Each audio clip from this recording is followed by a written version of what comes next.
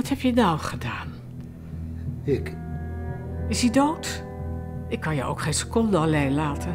hij is vermoord. Ja, maar ik had toch liever gehad dat je dat eerst even had overlegd. Nou zitten we ermee. Ik heb niks gedaan. Pak jij zijn schouders? Wat gaan we doen? Of zo kunnen we toch geen bezoek ontvangen? Ik ga graag naar het theater.